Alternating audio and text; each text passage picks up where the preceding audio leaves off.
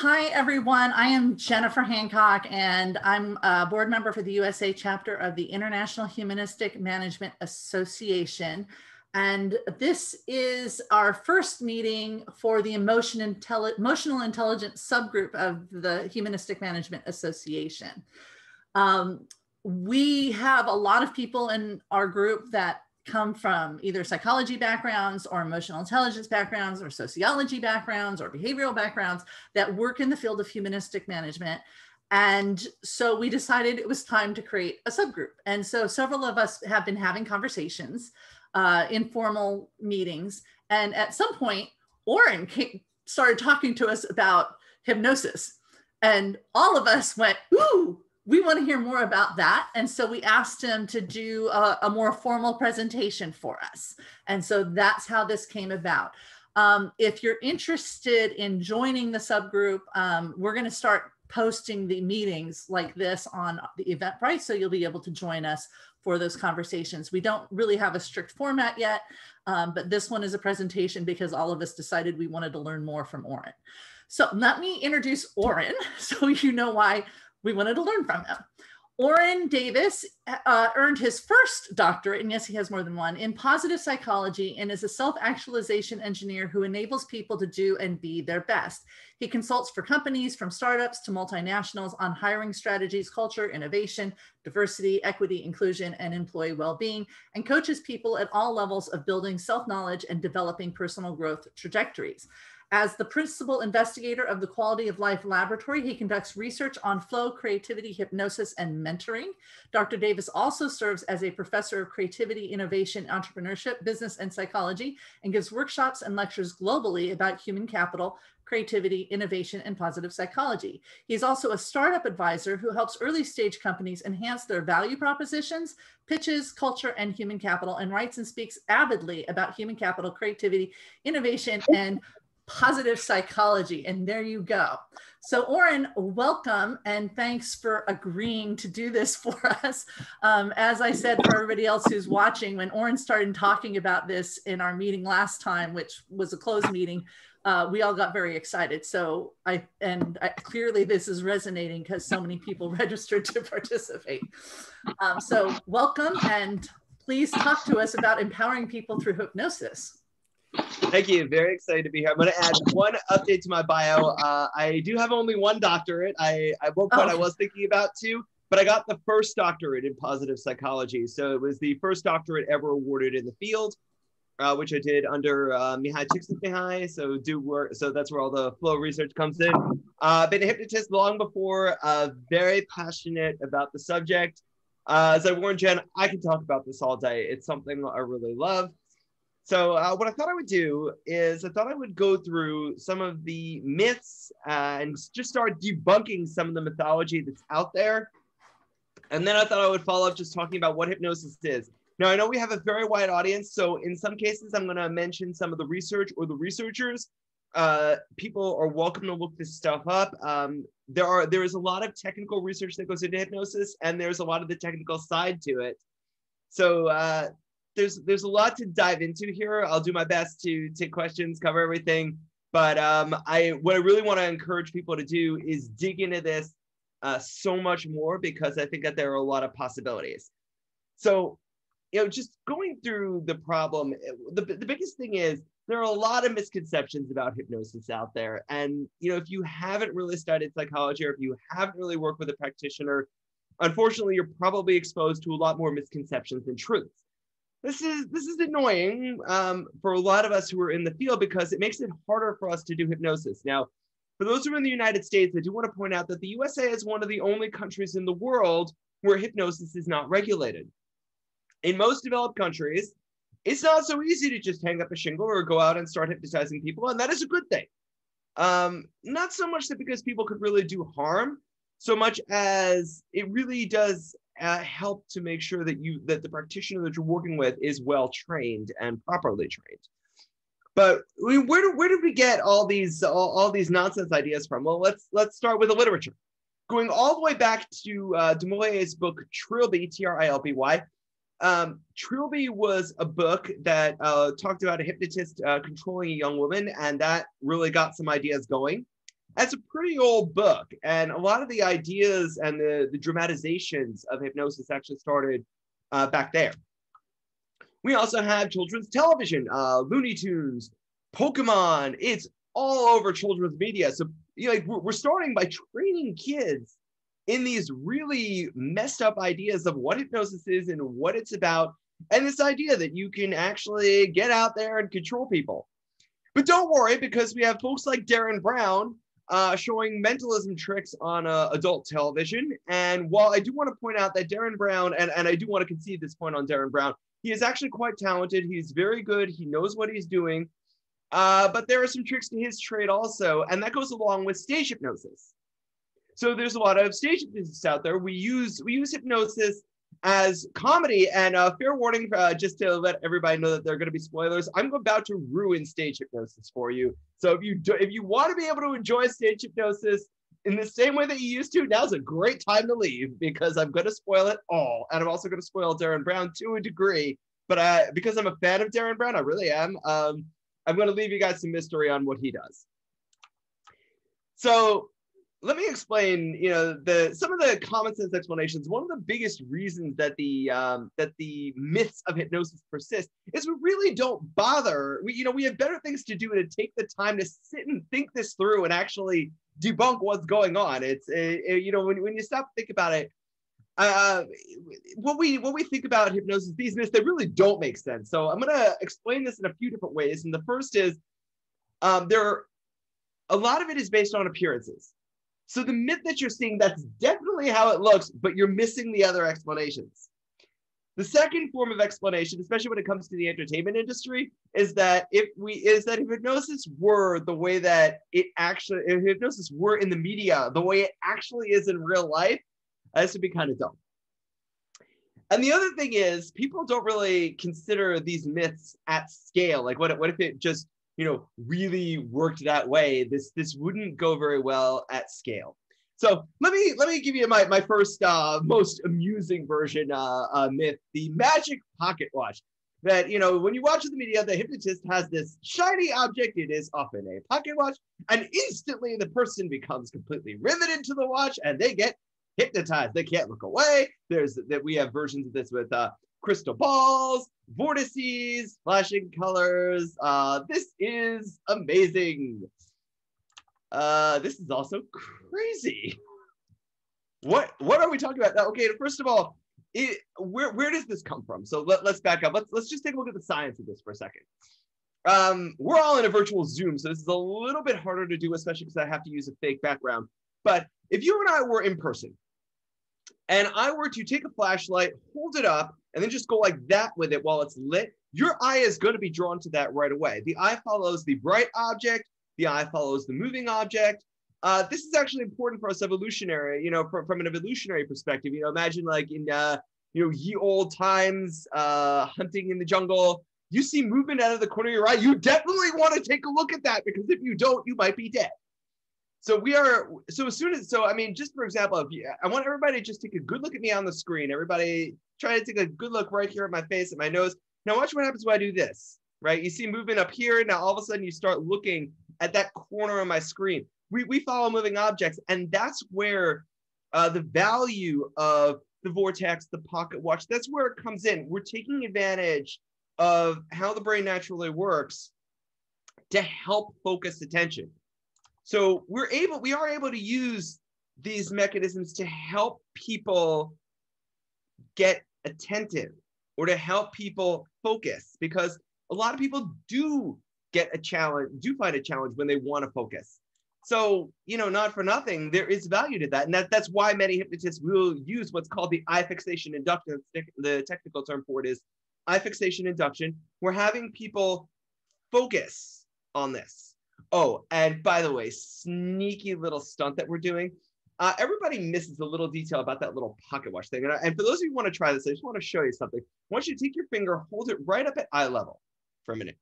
Okay, now what I want you to do is now take the, now I want you to look at the tip of your finger. Now what I want you to do is move your finger about one two inches upward. Keep looking at the tip of your finger. What you probably notice is now this is causing eye strain. And of course, if you keep doing that, your eyes are going to get tired. As a matter of fact, they're going to get heavy. Anybody see where this is going?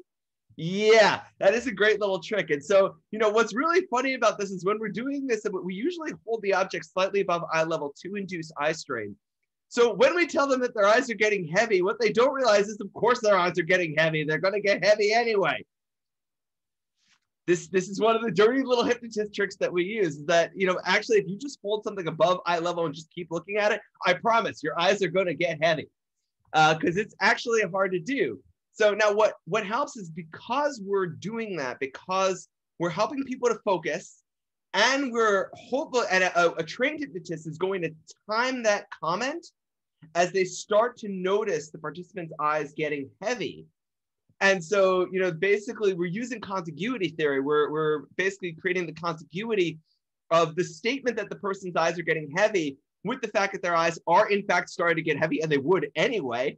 And because of the context that we've created, they start to believe that our comments are helping to facilitate that process. And then they actually start to. So this is this is part of how we're doing that. And by the way, again, when we're using this for positive purposes, that is the idea. We're hoping to build that connection and to facilitate that suggestive rapport. But I also do want to point out that unlike on in the media, it doesn't come from nowhere. It actually comes with something you know a lot more realistic. But you know along those lines what i want to point out is that what hypnotists really do we help people to focus when it may be hard for them to do it themselves. But i really want you to get and, and it's uh, a point i'm going to return to a whole bunch of times but think about this that as hypnotists we're facilitating the focus of others and as you know and, and was, as we translate this idea to the workplace i want to point out that one of the primary roles of managers and leaders is to help people focus, right? Leaders, they provide vision. Managers provide coordination. So if you think about the chaotic workplace of today, and I mean, I'm not, I'm not just talking about like the VUCA situations of today, like the, the, the volatile, the uncertain, the chaotic, the, like these ideas uh, are all part of the challenge of doing work today in the knowledge era. It's not just, you know, COVID or the current political unrest in a whole bunch of countries, and notably right now the United States. It's also just about the fact that in the knowledge era, we're in this always on society. We're constantly getting email, we're constantly getting phone calls. Now we have open plan offices. We came up with this idiotic idea. Now we have, so people are now just dropping in, and that can cause a lot of distraction.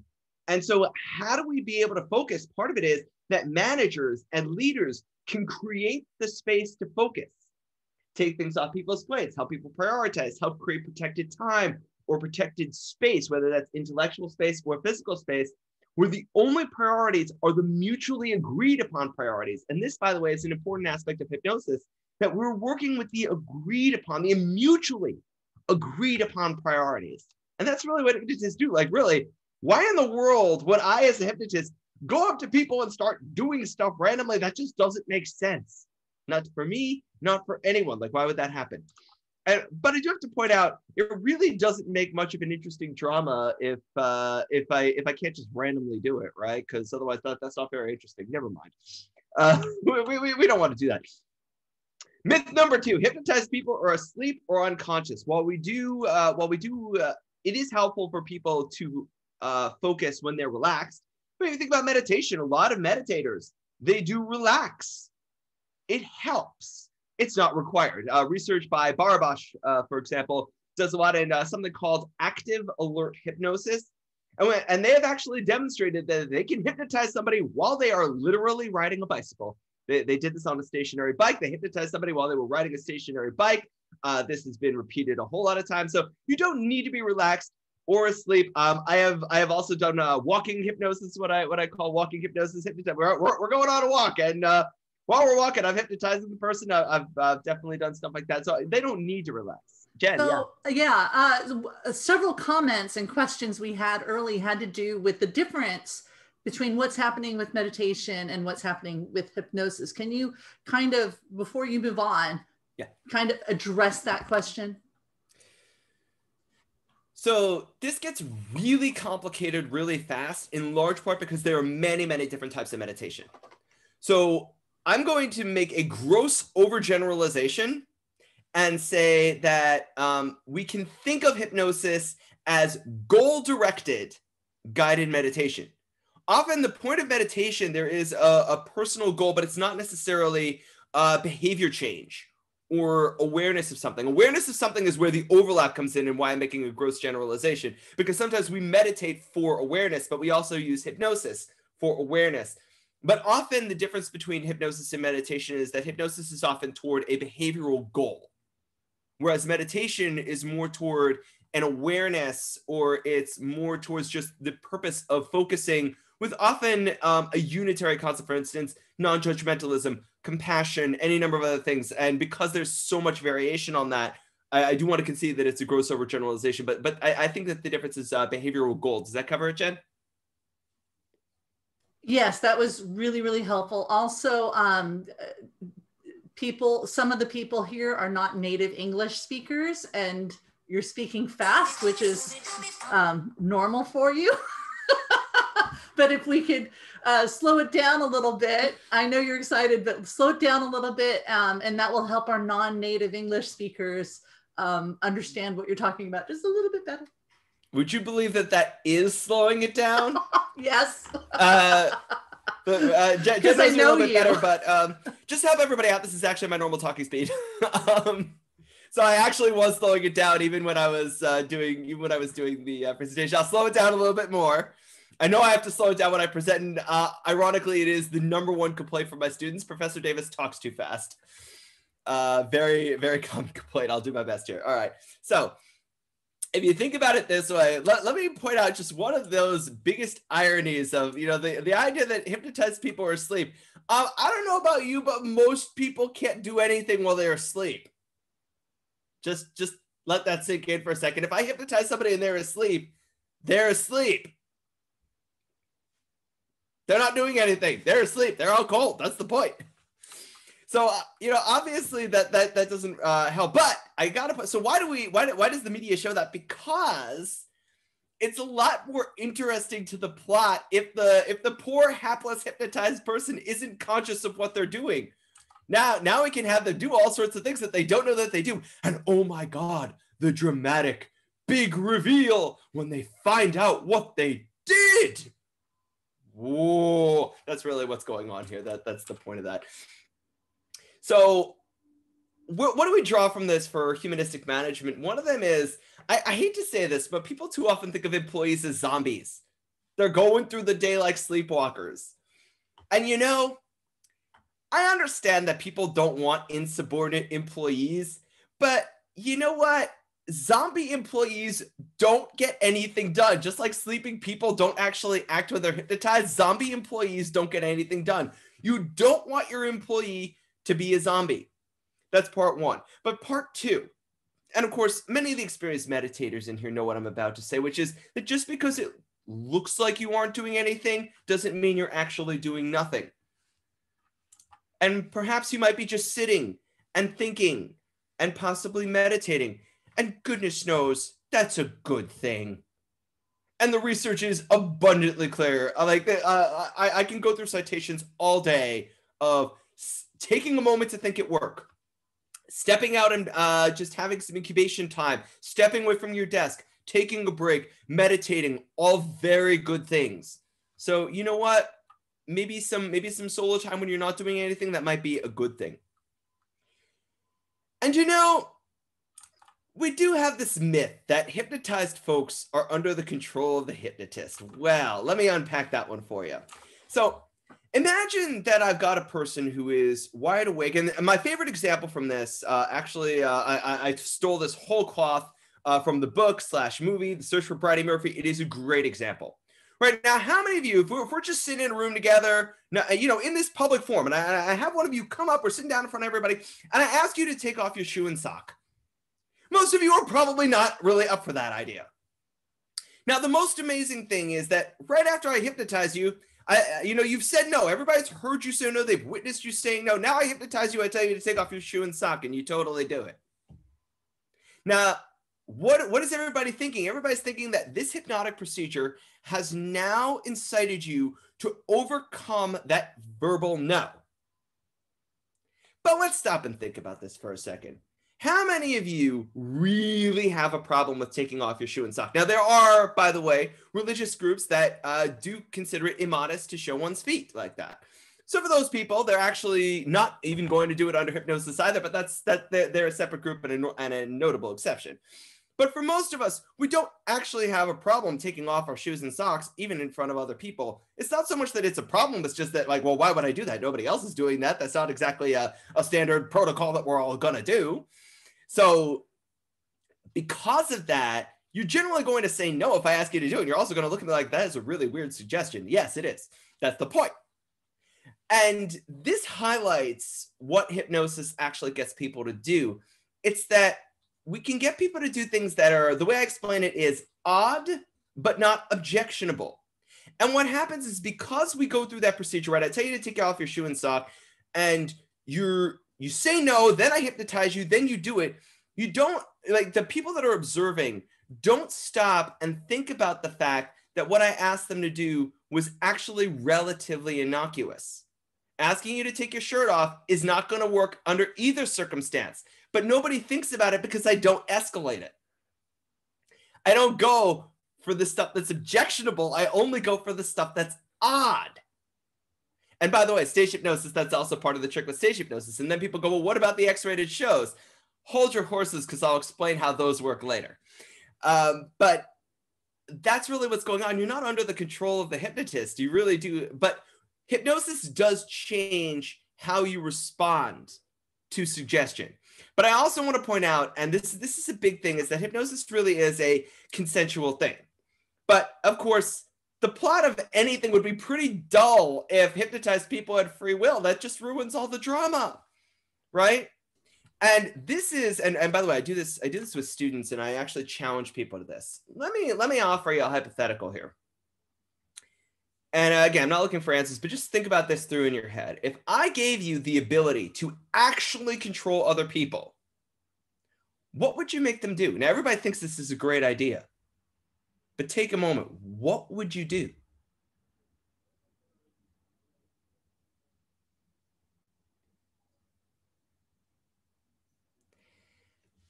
And if you're like most people, what you stop and realize is nothing you don't actually want this ability. Like we all think we want this ability. Like, wouldn't it be so cool?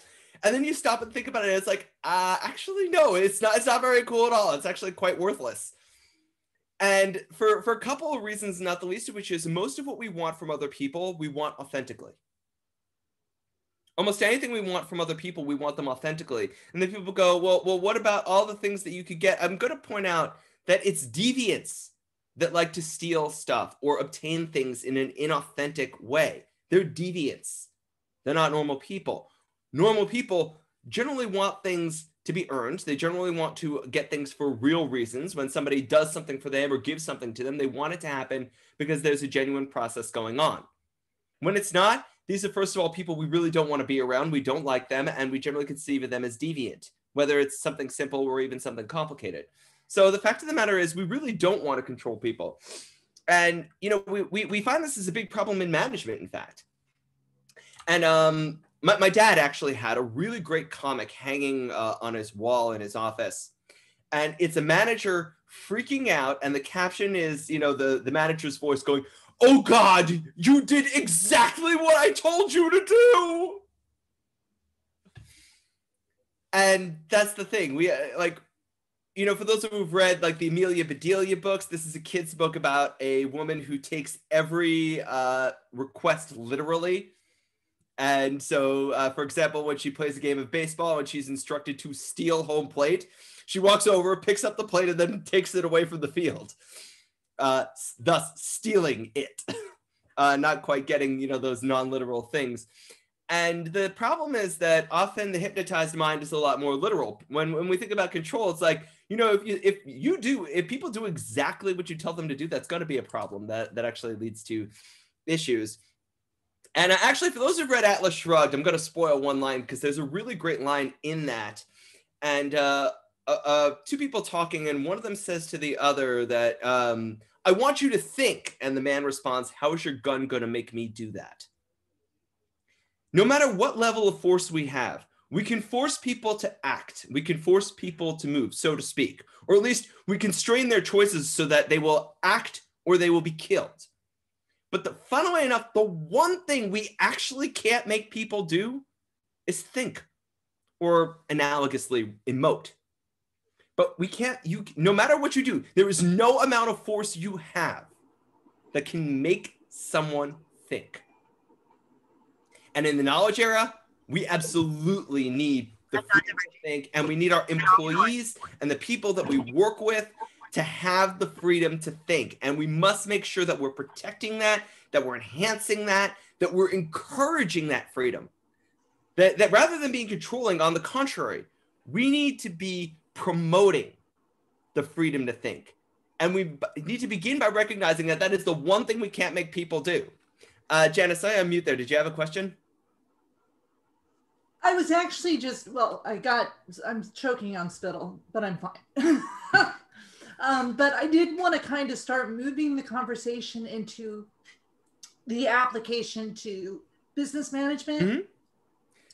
And, you know, okay, so we know what it's not, but let's talk about the more positive um, applications and why it's relevant. You started talking about, you know, the idea of management. You can't force people to do things and I like where this is headed. So I'm just hoping we can.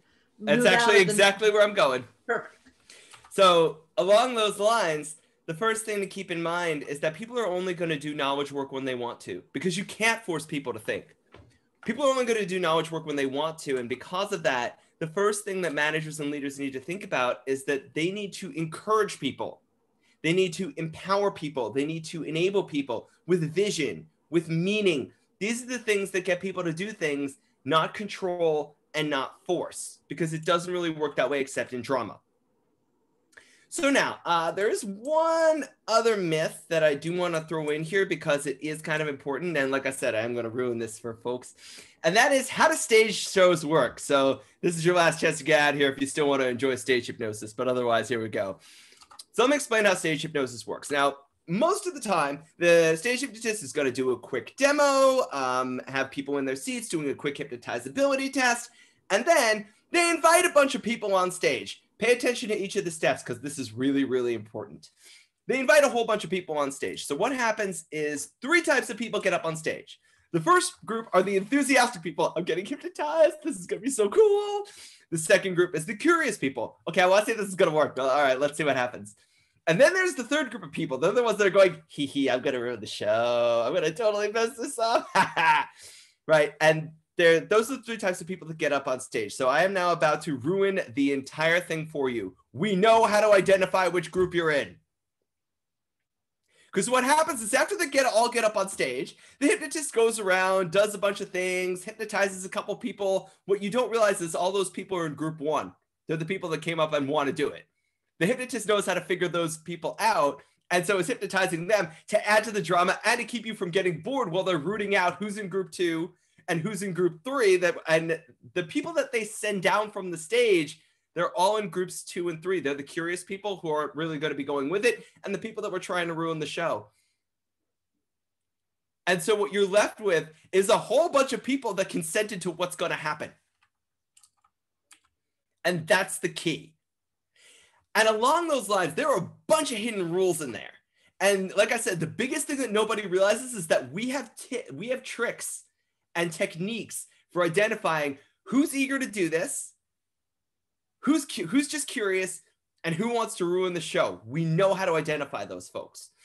And there are also a whole bunch of other tricks um, that are used in the process of uh, stage hypnosis that Derren Brown is using. There are a whole bunch of psychological tricks that are in there. But with Derren Brown, there are two other things that you got to pay attention to. One of them is the role of the camera and the stage. This creates expectations. And when people are consenting to that, they're consenting to the expectations of the camera or the stage. With Derren Brown, uh, also, for a lot of episodes, you don't know how many times he tried it off camera or with somebody else. You only get to see the successes but you don't know what percentage of the time it works. Some of the stuff that Derren Brown does, excuse me, does have lower percentages of working. It does work, but only sometimes. But he can skip over all the failures and just go straight to the successes, and he can handpick the people that participate.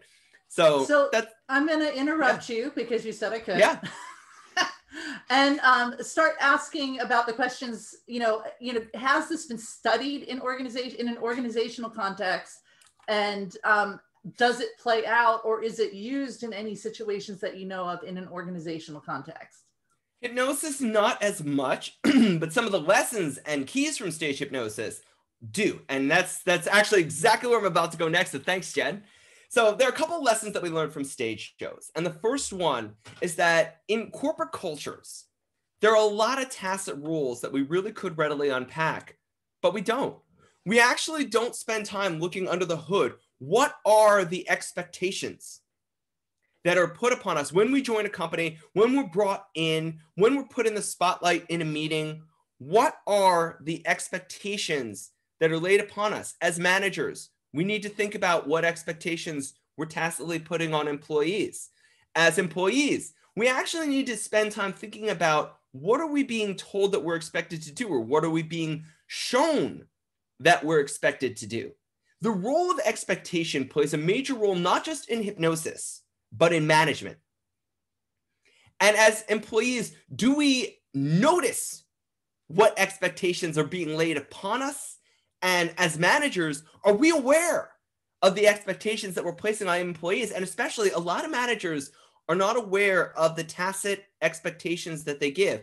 And I know that this, you know, as as a um, as a principal investigator, uh, this is something that I had to spend a lot of time learning: is what expectations exist, and what what expectations do I have that I'm not articulating, and what expectations are my students you know, when I'm a professor or my research assistants when I'm a lab manager um, or my clients when I'm a consultant, what are they, what expectations am I tacitly giving that they're internalizing? And are my expectations empowering or are they restrictive? Am I, am I widening their scope of action or am I constricting their scope of action? And similarly, when we're on the receiving end of expectations, are we being aware of the fact that the that these expectations exist? Are we looking at um, how whether our scopes are being broadened or whether our scopes are being constricted. And part of managing up, because you know everybody has implicit expectations that they don't unpack. Part of managing up is checking those realities. Hey, boss, I feel like this expectation exists. Is that real? You know, do you want that? Is that what you're expecting? And bosses are sometimes very surprised to realize what expectations their employees internalized that they may not have wanted the employees to have. So stage hypnosis actually is, is a great case study in the role of expectancy and in the role of also tacit consent. And we're often not mindful of what we're consenting to, but actually, this is a major thing that we need to keep in mind when we engage in the hiring process, in the job crafting process. We're actually laying out the expectations and this, in a very real sense, is analogous to what real hypnotists do. So, like for instance, if a client comes in to a hypnotist, the one of the first things that's going to happen, we call it the pre-talk. Like, what's going to happen? Like, why are you here? What do you want? What's what are your expectations? And as hypnotists, we want to find out what the client's expectation is. What do they want? What do they think is going to happen? And then we sit down with them and we actually craft the entire experience as much as possible, start to finish. And we're creating expectancies. Now, stop and think about it. Every job should start that way too, right? Let's have a pre talk. Let's sit down. What is this job going to be about? What do you expect of this job? What do you want from this job? Now, let me tell you, as the employer, here is what I expect of the employee of this job. Here's what I need. Here's what we're going to do. And now let's sit down together and craft this employment experience step by step. What's going to happen? What are your expectations? What are my expectations? Um, what is our definition of success? What do you want? What do I want? How do we make sure that this all works well together? Um, are there any tacit assumptions we have? Probably not going to be able to reveal them all right now. So, what is going to be our process for giving each other feedback? And by the way, in hypnosis, there's a lot of feedback. And uh, this is a point I'm going to return to later. But uh, Milton Erickson, who's considered the grandfather of modern hypnosis, and for those who have ever heard of NLP, neuro linguistic programming, uh, don't want to get into the validity of that or lack thereof right now. Um, some and some. But all that comes from studying Erickson's techniques. And one of the things that Erickson said as a as one of the world's greatest hypnotists, one of the best in history, is he said, "My clients show me what they need me to do." And people often are very shocked at this at this very important statement. It's a very simple one, but it's the realization that Erickson, despite being this world-class expert, he doesn't tell them, they tell him. When the clients come to me, they tell me what I need to do, and then I do it. Right. And funnily enough, a lot of the most empowering managers, they let their employees tell them how to do good management. They let their employees tell them, how do you need me to be a good manager for you? And they encourage that. And it's hard. That's not that's not easy to do. But that training that we get as hypnotists is actually very good training for being a manager also. But you need to learn to make the trans the, to make the transfer. And you know, it's it's a challenge. Even when you know what you're doing, it's a challenge. And even when you're good at this, it's a challenge because people come in with hidden expectations. And we have to be aware of that. And part of what we need to do, both as hypnotists and as participants, is to help facilitate and the creation of that feedback loop from the very beginning. Make a feedback loop so that we can tell each other this works, this doesn't. I feel like this is valuable to me. This is not valuable to me. I see you responding this way. I'm not sure that's a good thing. Um, I am responding this way. That's actually a good thing. Like creating those conversations and like creating an open dialogue dynamic, even though it's not quite equal in power or equal in facility. Um, it's recognizing that the role of the hypnotist is to enable and empower and that's that's a point i'm going to come back to in a minute but something to hold in mind. And because of that we need to make sure that people are not doing things mindlessly right? There's this myth that uh, hypnotized people don't remember stuff afterwards. Again that's just for drama. If people don't remember stuff afterwards that's usually because um, there, there's a good therapeutic reason for that. And like hypnoamnesia is usually for that. So what is the other kind of hypnoamnesia right? People people wake up from hypnosis, they don't remember what they did. I got news for you. When most people come home, right, they take off their coats, they take off their shoes, but they don't really remember doing it. What they remember is the fact that they did. Why? Because they're doing it mindlessly. When we do things mindlessly and we're not paying attention, we don't quite really remember what we did. We could. And if we really spend time thinking about it, we could remember it, but we usually don't. And this has a, an, again an important lesson for work also. If we want to be doing good knowledge work, we shouldn't be doing it mindlessly. And again, as managers, as leaders, we need to make sure that our employees are not working mindlessly, rather that they are working mindfully. And as a matter of fact, um, some of the things that hypnotists do is they encourage people to be mindful of something. I, I feel like you know, uh, quoting the Jedi Masters, "Be mindful of your thoughts. Be mindful of your thoughts." And as hypnotists, we're doing that also to uh, with, with, participants and with clients. Be mindful of your thoughts. Know what you're thinking. Jen, jump in here. Okay, so someone asked, and I think it's it's relevant at this point. Uh, could someone be hypnotized, for instance, to not eat sweets? Um, I mean, could when, you help them with that? So th- those are two different things. So the first one is, um, can we? One of the best things one of the best things about hypnosis is that um, whatever rules of consent we're able to create we can use those. So can i do that? Sure. Is that the best idea? Probably not. Uh, the idea of using hypnosis to create explicit blocks in people listen there's a reason why why people sometimes like sweets. There's value to that and there really is value in recognizing the natural processes of people. I got to tell you, about uh, 20, 20 some odd years ago, I used to answer questions on hypnosis forums. And this is one of those times when, for example, uh, being a homosexual was less accepted uh, than it is today. And a question I got a lot of the time is Can you hypnotize me to no longer be a homosexual? And my answer to that is always no. no, you can't do that. But what we can do with hypnosis is help you accept yourself as a homosexual and help you to deal with the social situations that you encounter as homosexual, both the positive and the negative, and we can help you deal with that. But frankly, like being homosexual is not a choice. It's not a behavioral choice. It's not a lifestyle choice. Uh, this one is biological, and so we can help you with that. But that's all we can do. We can help you uh, channel it. We can help you deal with it. Um, we can help you handle the situation, but we can't change it. And it's not a good idea to change it. And for all those natural processes that we have, it's not a good idea to just hit a button on it. Because whatever it is we have, we have it for a reason. And so I get this question also with habit control. You don't want to just go to a hypnotist to push a button and stop a habit. We develop habits for a reason. That's as true at work as it is at home, in life, in almost anything else. We've got a habit for a reason. Don't touch that habit till you understand the reason. And that would be that would be my response to anybody that says, "Can you hypnotize me to X?" My answer to that is always, "Why do you do X?" We need to understand why you do X before we can say that it is even a good idea for you to stop doing X. Now we can change the parameters of X, we can reduce X, and I see, you know, for example, question about behavior cues.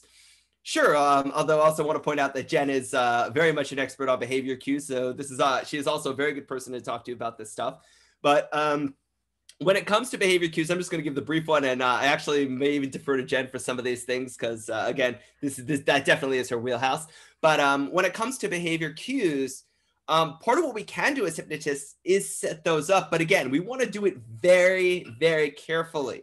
We want to make sure that we're setting up those behavioral cues that to make sure that they fit into your life and they're going to be part of a larger vision for an updated life that you want. And if you stop and think about it, sometimes even little behavior changes can make a significant impact in your life. And as hypnotists, we must be mindful of that. And we want you to be mindful of that. So, uh, Jen, I hope that covers the question. I think so. And I, I, think too that you got into the next question, which was the behavioral cues um, that differentiate people who want to engage versus are, are curious. Um, you know, and I think that, like you said, is, is a deeper question. I'd like to come back to it and instead go to the next question, okay. which is there a connection between illusion and manipulation? And are there dangerous or unethical connections to the to hypnosis and its correlation, obviously, as we've been talking about, to best management practices? Like, what have we learned about what's ethical and unethical in hypnosis as it relates to management? Is and the issue of illusion and manipulation, because we do know um, that does happen mm-hmm. in the workplace. uh, eh, believe it or not, Jen, it happens a lot more in the workplace than it does in hypnosis. Manipulating people with hypnosis is actually rather hard to do. Um, it's it's very hard to do. But um, I, I want to. I'm going to piss off a whole lot of people with this, so hold on to your hats. Let me tell you what the difference is between motivation and manipulation. Let's say that there's something that you're a little bit leery about doing. You come to me, you mention this, and somehow I get you to do it. You end up doing it. Now, if you're happy about that outcome, you call me a motivator. If you're unhappy about that outcome, you call me a manipulator. But I do want to point out that I did the same thing. So, what's interesting about this is that we often don't think about how much we do or don't want the outcome. And we also don't think about how much the point of motivators or manipulators is that we're getting somebody over the hump. Now, if you're trying to get somebody over the hump because of your own purposes and you're the one benefiting from it, that's that's a different thing. But you have to keep in mind that when it comes to the difference between motivation and manipulation, we need to understand what the what both people in this situation want and most importantly why they want it so when everybody's got good intentions and everybody's got good outcomes and one person helps another get over the barrier that's definitely motivation. Um, when there's good intentions or not good intentions and uh, good or bad outcomes when, when it when those don't match when the intentions and the outcomes for i mean remember we've got the intentions and outcomes of the person who helps the other get over the hump and the intentions and outcomes of the person that gets over the hump. Whenever there's a mismatch we start talking about manipulation that's not always accurate though because people sometimes help people get over humps with good intentions wanting good outcomes but it turns out bad and also not everything is directly guaranteed when when we try and help somebody past a block and something happens that could lead to bad outcomes anyway for unforeseen reasons. we often don't unpack these things and we very quickly jump to manipulation, motivation, uh, or you know something along those lines. We do that way the hell too fast. So this is definitely one message I want to tell people is before you make that judgment, slow the hell down. Look at the motivations of all the people involved. Look at the outcomes desired by all people involved. Look at the blocks. Look at the context. There's going to be a lot in the context that is not visible, not even visible to the two people. And the and the quick judgments on this lead to a hell of a lot of bad stuff. So it's one of the reasons why I'm so emphatic about this because a lot of bad things people jump to the conclusion of like, oh, they're gaslighting, oh, they're being controlling. Sometimes that's true, sometimes it's not. So and, and the the speed with which we jump to that without knowing the information of the context is a problem. And the reason why I say that is because we sometimes assume that bosses are bad or that leaders are bad without realizing what's really going on there. And we often, because of power imbalances, we tend to want to blame the people in power because we want to hold them responsible. And there's there is some good logic to saying that to whom much is given, from them much is uh, much is expected. Totally cool, totally true. But we often don't look at the contexts in which people in power have to make judgments. I'll give you a simple example. And again, I don't want to get political here, but one thing I do want to say, which is related to politics, and this is true of any president, I want to point out. As citizens, we often question some of the moves that our leaders make. But let me give you one very simple piece of information that we don't have, and that is their morning security briefing. We have no idea what is written in that briefing, and we don't have the clearance to hear to, to have that information. So as much as we like to judge our politicians, we definitely don't know the context in which they make decisions or in which they operate. And it's similar for managers and leaders. We don't know what pressures they're getting from above them or from outer contexts or what's going on in their lives. And we assume that because they've gotten to such levels that they can handle it, they may be responsible, but they also have context that we don't know. And they may not share that with us. So we have to be very careful as as more junior people. We have to be careful about how quick we judge more senior people. They know more. They have more experience. They may be trying to do things that they believe are going to be helpful, and sometimes they're wrong. And can that's I, yeah. Can I jump in because yeah. it's kind of I, I'm loving this, but the next where it's leading me is the the note I made just a little bit ago is um and it ties into Gerard's question too is the the words that came up for me is okay so self-defense if people are using motivation for us in um, a manipulative like for their own purposes as opposed to a mutually consensual agreed upon thing and that does happen with abusive people is there a way to think through and use this knowledge to help us with self-defense from these things and to stand our ground and be more aware of our responses to them. And also, I think uh, Gerard, this ties into Gerard's idea of reinforcing biases or, you know, the, the converse of that, which is to dispel biases, right? Mm-hmm. So, um, and it, it ties into our assumptions about the people that we feel may be wronging us in some way.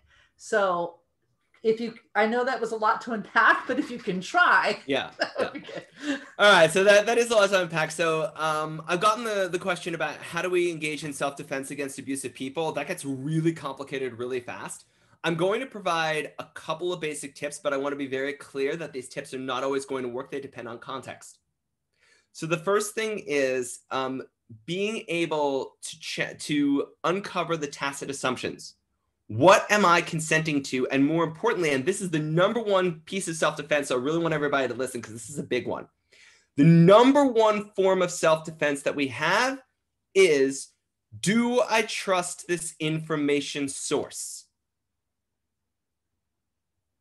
Step back and assess the validity of the information source you're getting. How do I trust this information source? Why do I trust this information source? What are my reasons for trusting? What are my reasons for distrusting? Because very often we just don't think about it. And that is our number one thing because, um, and, and by the way, the, the, the, key to uncovering a lot of tacit assumptions, this is the biggest uh, step that we can take. Now, it doesn't always work, and I want to be clear about that because there are con- there are contextual things, and people people who want to be manipulative or abusive know that you're going to do that. So they'll do things to combat that. And again, I don't have time to get into all that now. But that is your number one self defense. It is it is the best weapon in your arsenal. Is reevaluate, step back, and objectively evaluate the validity of the source. Do I trust? Do I trust what this person is saying? Why? Why not? And similarly, it's why do I? Why do I want? We also have to uh, unpack our own desires. Why do I want to trust this source? And when it comes to biases, often the answer is expediency. It is expedient for me to trust this source.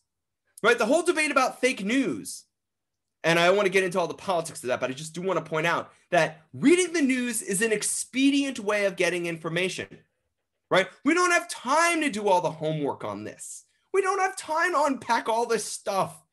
So we just want somebody to give it to us in a clean, neat little package. And we don't question it. We don't have time. But if we really do care about something, or this is an issue that's really near and dear to our hearts, we must unpack, we must question, and we have to question everything. And we have to be willing, and this is the hard thing to do. We have to be willing to question our motivations, our reasons, and often, I hate to say this, but we're going to discover some ugly truths about ourselves also. We're going to discover that we don't care about something as much as we thought we did. We're going to discover that there's an emptiness that we're using somebody else to fill, or that we're using some activity to fill, or we're going to discover that we fear being inadequate. There's a whole lot of things, and that's what makes this hard and what makes people shut down this process when they start it. And that's the value of also second piece of self-defense is get some support, but be careful about choosing your support. Because funnily enough, sometimes in attempt to be supportive, we make things worse. And we've seen this a lot actually in a number of abusive situations that aren't actually abusive, but when but when the supporter reads this, reads into this as abuse, they'll actually help promote the abuse narrative when in fact there's actually just a lot of miscommunication or unpack of expectations and so on. That there's a lot of other things that can happen. And we, we've seen this documented. That sometimes that sometimes getting the wrong supporter can actually turn a bad situation into an evil situation because the supporter misinterprets what's going on. So as supporters, we need to when we're helping people, we need to be entirely non-judgmental. That's damned hard because we bring our own biases. We got to be non-judgmental. So step 1, analyze your sources, check your realities, analyze your reasons for trusting the sources and step 2 is get non-judgmental support. This is a big one.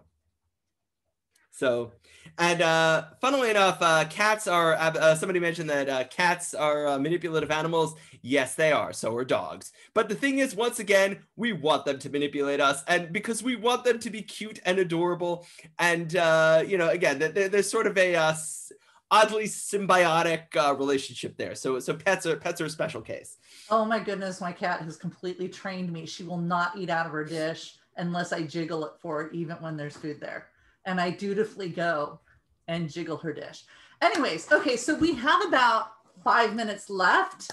Um, and this has been fascinating. And I really want to thank you for taking the time because this is such a weird, I don't want to, weird is such a bad word, but it's such an interesting topic that most of us don't know anything about. And what we've heard about, like you said, is is not relevant, but it, gosh, you know, the lessons from it, you're right, are absolutely relevant to management and specifically to humanistic management because of the consent issue. Mm-hmm. So um, I want you to spend a little time thinking like if you had to give managers who are well intentioned um, and humanistic, as everybody here is, two pieces of advice on what they should, what you'd like them to think about doing differently in their work, what would those two things be?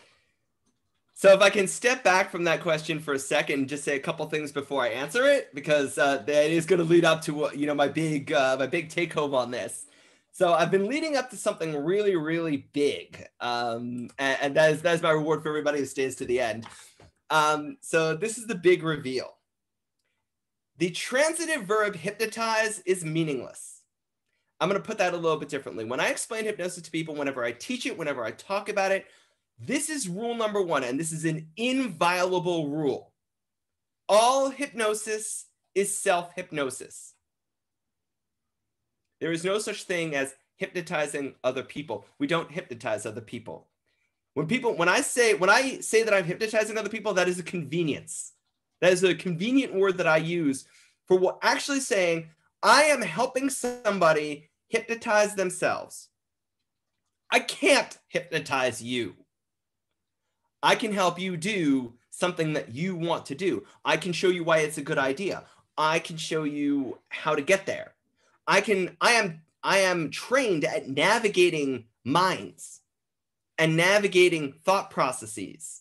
And I will help you navigate yours. But you're doing the navigating, you're doing the mapping, you're doing the driving, you're starting the car, you're cranking the engine, you're hitting the gas, you're hitting the brakes, you're doing everything.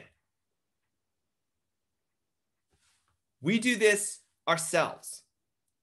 And the role and goal of a hypnotist is to enable and empower people to have better control. So it is one of those biggest ironies that we think that hypnotists exist to control people. It's the exact opposite. Our goal as hypnotists is to guide and empower people into controlling themselves more effectively, using their abilities more effectively, using their power more effectively. That is what we do.